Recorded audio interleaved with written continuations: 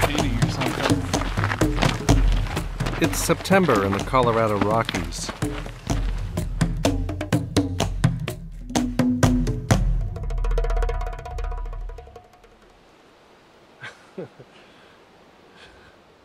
I want to use casein paint here to do a landscape study, focusing in on this broken aspen.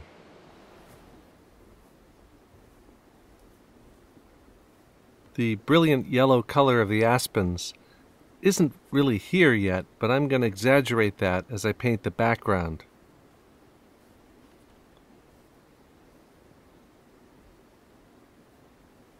But I want to set up a background tone so that I can paint this cracked and broken tree. And in the distance, we see a brown shape moving against the trees. Yeah, it's a moose, all right. I wonder if he looks like he's coming this way. You know how I saw him? I was painting those two. They're two cows, actually, and they look over at us, but they don't come too close, fortunately.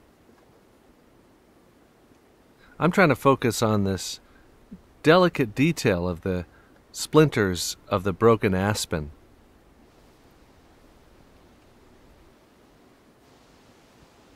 An aspen forest is a single gigantic organism, all connected at the roots. It's the largest organism that there is on Earth, bigger than a blue whale.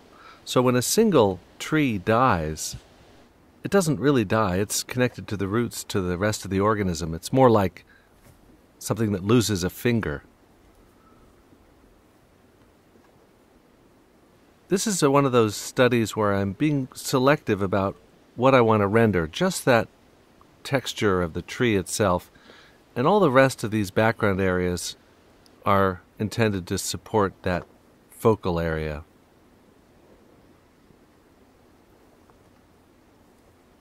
Just to indicate a few of those leaves catching light, I use the paint more thickly. But the eye fills in the rest, and there's a sense of completeness even to a very quick sketch. I think we better pack it in. Yeah, we got it. It's really. Yeah. We're losing the light and we're losing the moose.